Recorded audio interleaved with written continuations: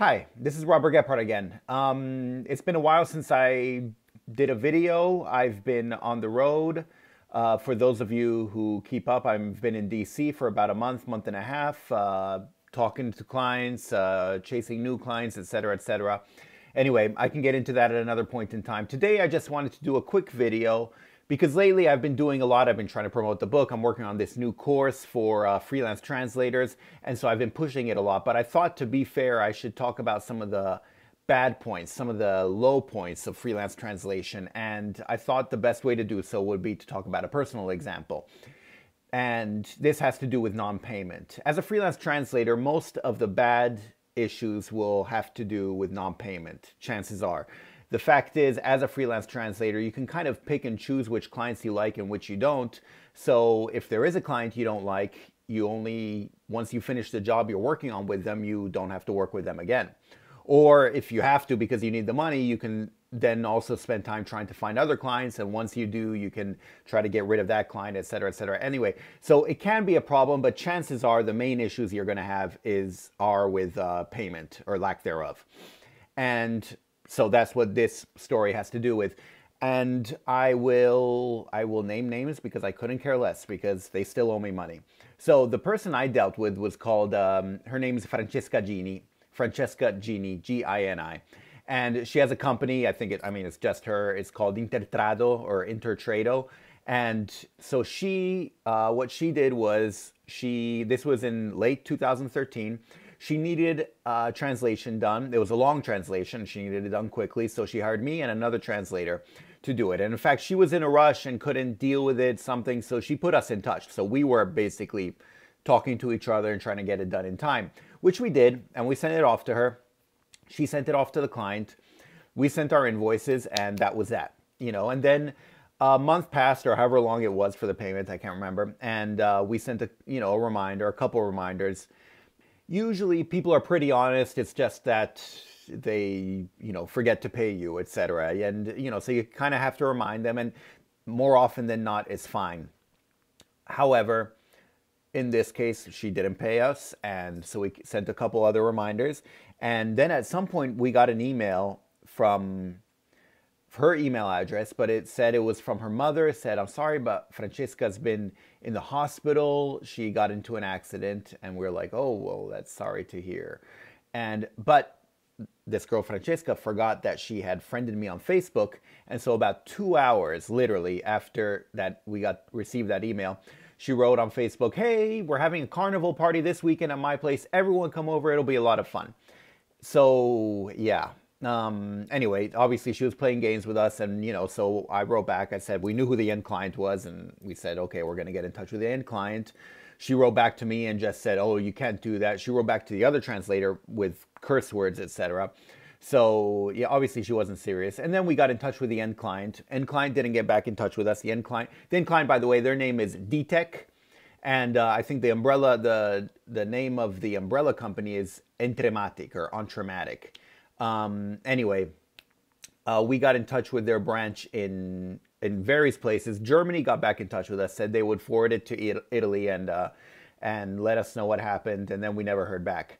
Now, unfortunately, both clients, both the client we dealt with, uh, Francesca Gini, and the uh, end client are in Italy, and unfortunately, in Italy, it's hard to deal with legal recourse and to deal with lawyers or the courts in general. It just you know, and they kind of know this. It isn't worth it for for the amounts we're talking about. And the amounts we're talking about, she owes me about um, 600 something euro, and I think the other translator about 700 euro. Uh, and uh, this is without late fees or, or, interest or anything like that. Um, so it isn't usually worth going through the court system to do something like this, unfortunately. So we were weren't left with much except keep bothering her and harassing her in a way, you know, via email and whatnot. I did get her phone number, tried calling her a couple times. Obviously, that didn't help. And uh, I got her home address, but first of all, I don't live in Italy. Second of all, I wouldn't even know what to do at her home. I'm not Tony Soprano. And uh, so I, um, so uh, you know, we left it at that. And I, I actually could still every week I send emails to the end client and say, um, can we get paid? Because in the meantime, I also found out that our translation was used. Our translation is up there verbatim on the um, on the website, and um, and in, I mean, yeah. Anyway, and this is exactly the same translation we sent, and I know it because there's some snippets that are irregular, and they're exactly the same in the file we sent to them, and the one they put, the PDF they put up on their website. I'll, I'll put links to everything so you can see what exactly what I mean. Anyway, so we haven't gotten, gotten paid by any of these. As far as I'm concerned, they're dishonest. I gave uh, Francesca Gini a bad rating on uh, on ProZ and on Translators Cafe, I think, as well.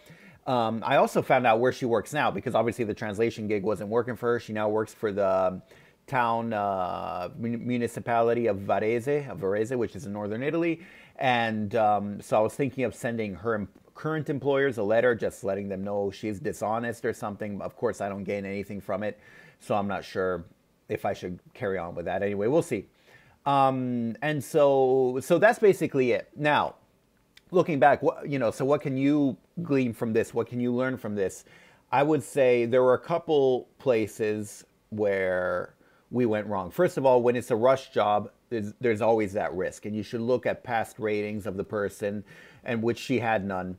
And uh, if someone doesn't have any past ratings on ProZ, on Translators Cafe, on any of these main websites, you should always ask for something up front, even for uh, an urgent translation, especially when you're talking over, I mean, whatever you feel comfortable with, you know. But here we're talking about 600 euros, which isn't the end of the world, but it's not nothing. So we, you know, we should have asked for something up front at least. You know, say, yeah, we'll work on it. Send us 200 euro now and uh, and we'll work on it. You have our credentials. You know that you know we're serious translators because you can see it on the website, and uh, and so you won't be disappointed.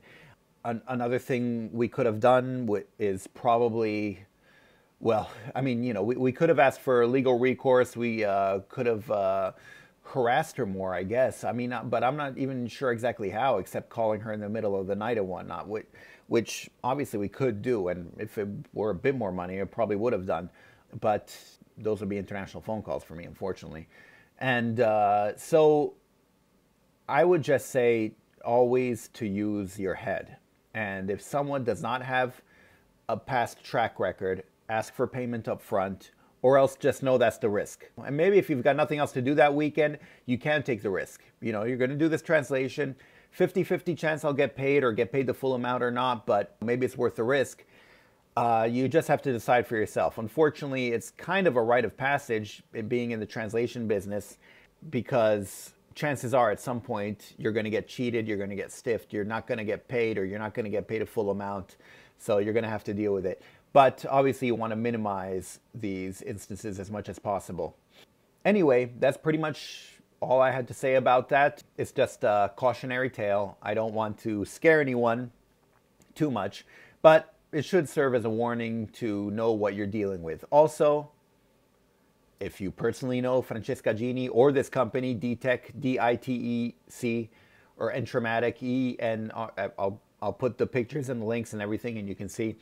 If you know anyone there, feel free to let me know because I'd like to get in touch with them and, you know, hopefully get paid. Anyway, that was pretty much it. And if you have your own stories or your own nightmare scenarios or something, feel free to share them. I'd love to talk about them and share different uh, war stories and maybe uh, for the purpose of seeing what we can learn from them and how we can make sure that more of us can get paid more often. Anyway, thanks again. And if you want to get uh, regular updates, they've been semi regular. I'm going to try to keep them more regular. Updates about freelance translation, freelancing in general, and, um, and whatnot. Uh, mostly, but concentrating on translation and languages uh, then feel free to subscribe. I'll be talking about navigating the waters of freelance translation. Anyway, thanks. I'll talk to you next time.